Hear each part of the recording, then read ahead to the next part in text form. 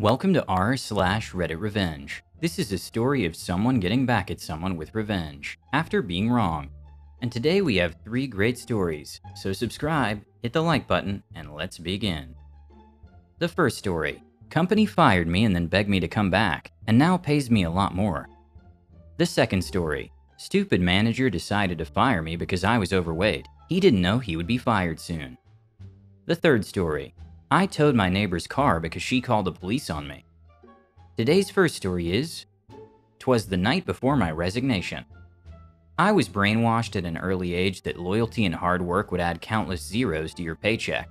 I remained optimistic after receiving year after year of 3% raises and working holidays. I missed my children's first steps, their school functions, and other life events so I could make the CEO more money. After the passing of my stepfather and my boss calling me during the funeral, asking me to troubleshoot an issue while my mom cried into my shoulder, enough was enough. I changed companies and made a personal pledge to put family first and my career a distant third or fourth. Fast forward to present day. I find myself as the cornerstone of our department. Many of our clients' processes are automated through custom API developed by me. I have maintained a thorough documentation library on how to support the API, the reports, and all of its dependencies. I've offered to train backup so we're not single threaded. My manager told me no way, we would never do anything to lose you.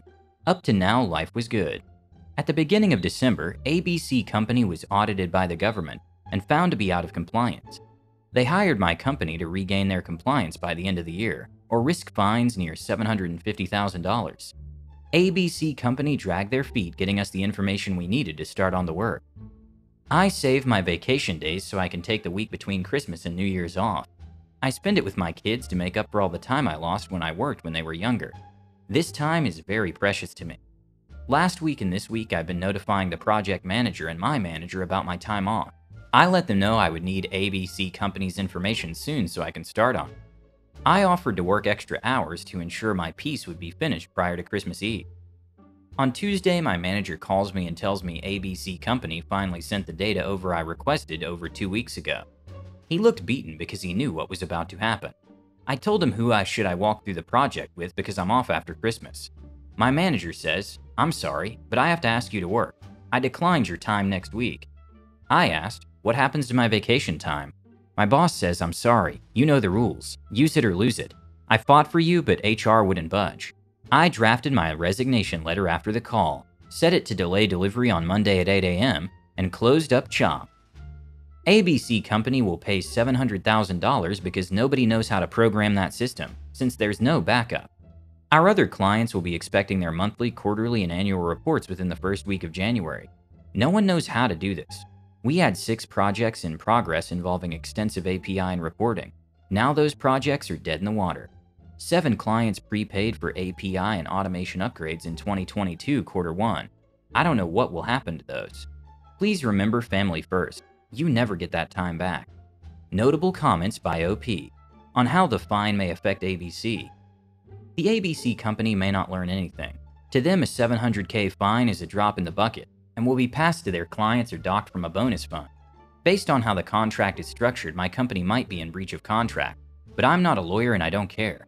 I have to worry about The Lord of the Rings and The Hobbit trilogy, and watching this with my kids. They never saw it. On OP's work contributions.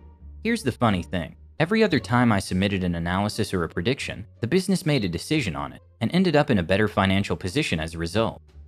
When COVID hit Washington and I suggested WFH immediately to prevent infection, immediately implemented. When I showed productivity numbers increased through the business, the business did not renew their lease and went permanently WFH.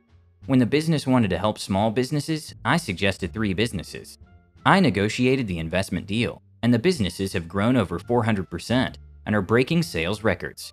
However, this one time they don't listen to me, they may lose big. More background info. I understand the business side of things, and we're a small to medium sized firm. Prior to this, my manager and I had a great relationship. The CEO helped me move to my new house.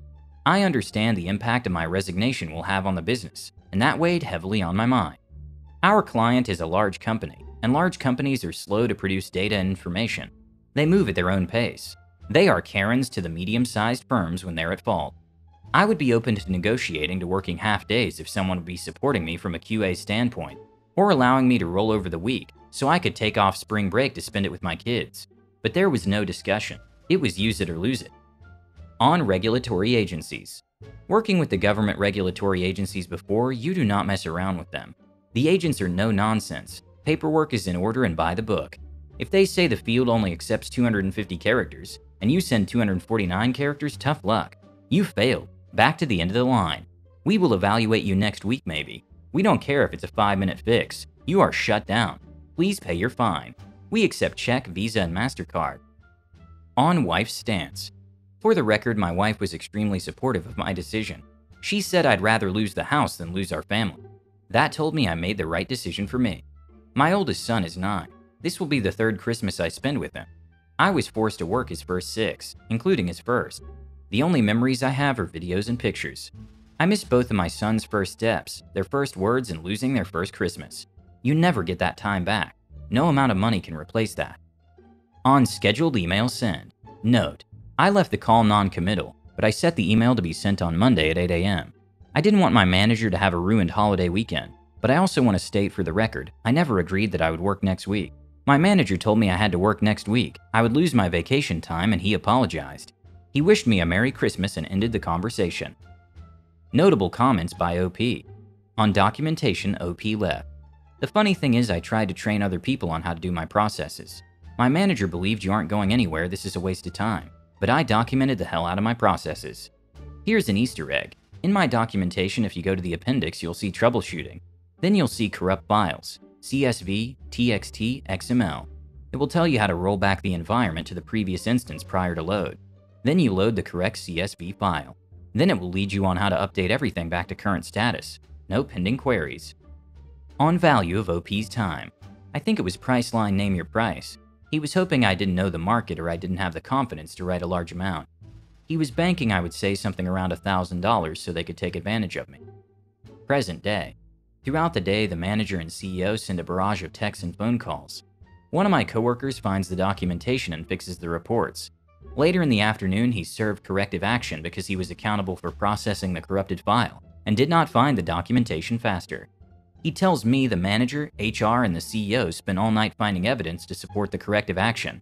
I tell him to get his resume up to date. Total downtime 16 hours. Around 3 p.m., I get a phone call from a new number.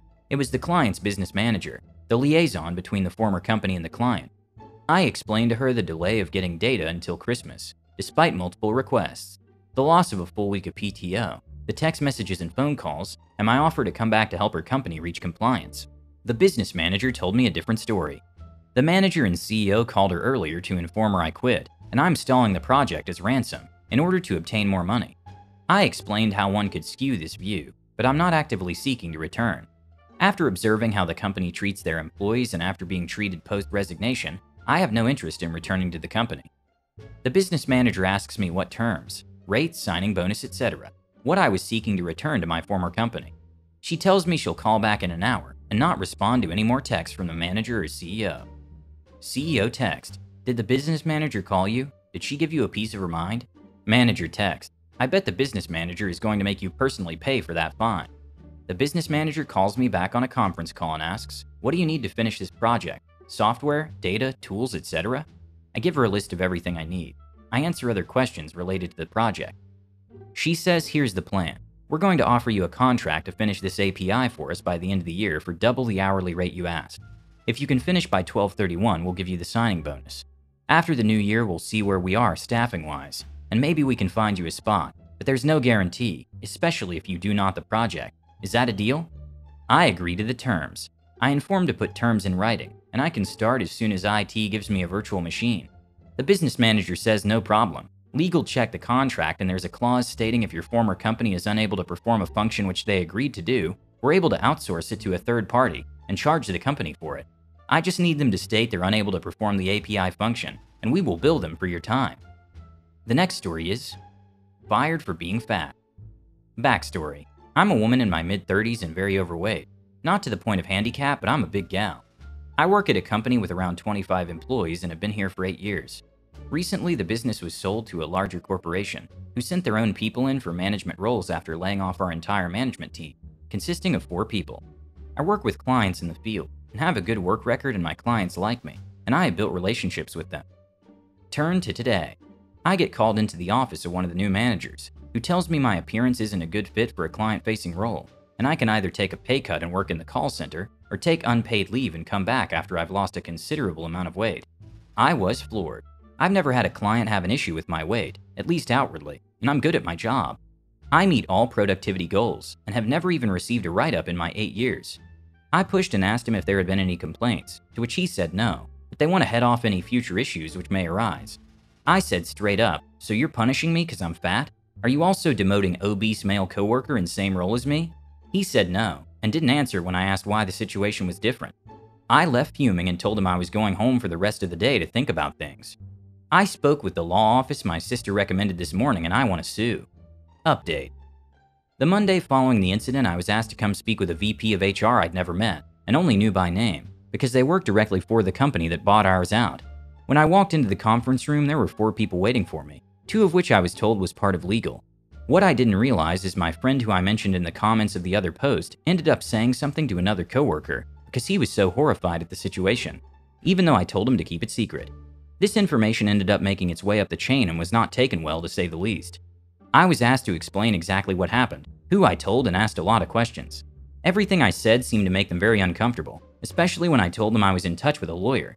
They had me leave the room for nearly 40 minutes and then called me back in and let me know they were very concerned about this situation and assured me it was an isolated power trip basically. This is the holy SH part. They say that due to my long tenure in my position, knowledge of how the team works, and my relationship with clients, that they felt I would be a good fit for the position the jerk manager sat in, and if I wanted the position it was mine, is their way of saying sorry. They also made sure to mention the large salary increase and bonuses that would come with this.